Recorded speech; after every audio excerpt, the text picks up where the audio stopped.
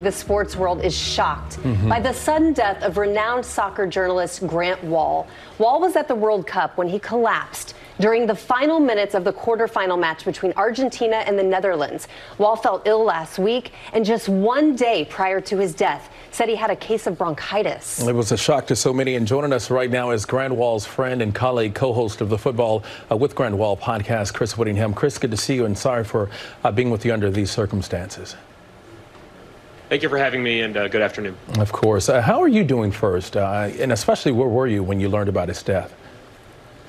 Yeah, I was uh, I was in my apartment, um, and I was actually waiting to podcast with Grant. Uh, we were due to recap the game that he was at, and unfortunately passed that. And it was an incredible day of football: Brazil and Croatia, and Argentina and the, Nether- and the Netherlands that day.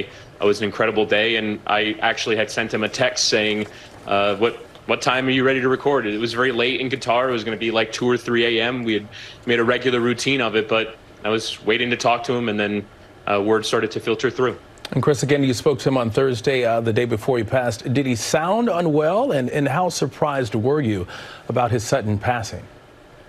I mean, stunned. Uh, you never expect that. Yeah, I mean, he had, he had talked about, and, and you mentioned the bronchitis and, and mentioned uh, the illness he had had during his time in Qatar and it, it, just sort of felt routine. It felt like something that he had talked about as being a regular part of covering tournament soccer, where you go and you cover something every day and you're up until 2 or 3 a.m. and you're writing the next day and podcasting and you going around a city and it all seemed relatively normal. He, he, said he was sick, but I mean, we spoke for an hour and he's like, oh, excuse my cough, excuse my voice. But I, I never heard anything that would suggest that um, something so tragic was not far away.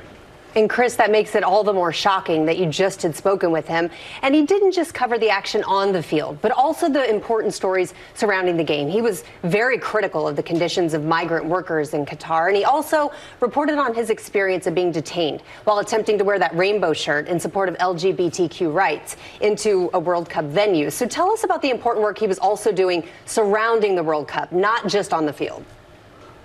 Yeah, I think it's important to stress that it wasn't critical for the sake of being critical. He had actually been to Qatar a few months before the tournament began and didn't just go there with the intent of I'm going to, you know, criticize this government and criticize these people who are organizing the event. I'm going to find the stories of people who worked in Qatar, worked at these hotels, worked at uh, the the stadiums, and were part of the organization of this event and actually got some positive stories. It wasn't purely with the intent of trying to find people who would criticize the Qatari government. But yeah, he was dogged about trying to tell the stories of the game, even to a country where in some ways part of your responsibility not not responsibility but part of what you'd want to do is grow a sport that's not as popular as American football, basketball, baseball, hockey and you don't always tend to criticize these things whenever you want them to grow. And yet Grant was insistent. If I'm going to cover this properly, like a proper sport, that I've got to cover the good and the bad as any journalist would in any other sport or in any other area of journalism.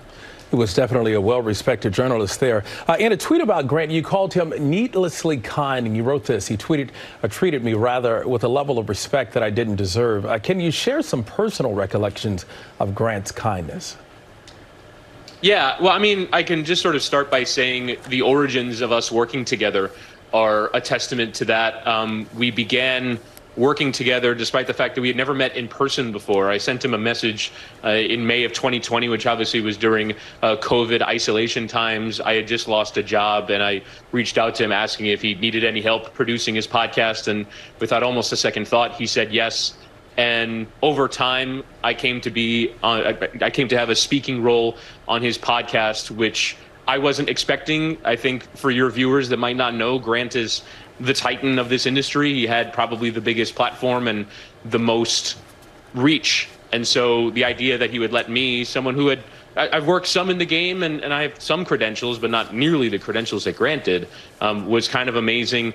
We were due to do a podcast together covering the U.S uh, in their run through World Cup qualifying with Landon Donovan, one of the all-time great American soccer players. And I asked Grant two days before we started, "Hey, am I going to be on this?" And he's like, "Yeah, of course. You're you're going to be on this. You're you're a part of this. You're important to me, and your voice is important. And uh, he he did that kind of stuff all the time. But even in talking to other people, um, that kindness that kindness just bleeds through. Like you hear, I've heard stories from hundred people in the last couple of days of hey he just randomly reached out to me and congratulated and congratulated me on the work that I was doing and congratulated me on on growing in my career despite the fact that I barely knew him so that's just the kind of person he was a legacy that he leaves behind uh, thank you very much again co-host of the football with Grant Wahl podcast uh, Chris Wittyngham and our condolences are with you and all of those who have been impacted by his death We good know- to see you We know he left behind a wife, Mm-hmm. two dogs, and obviously a lot of family and friends. So our thoughts with all of them as well. yeah, especially when there was a sudden death when it was something that you didn't expect you And know What a career and legacy he's leaving behind. Incredible. all right Well, hey there, GMA fans. Robin Roberts here. Thanks for checking out our YouTube channel. Lots of great stuff here. So go on, click the subscribe button right over right over here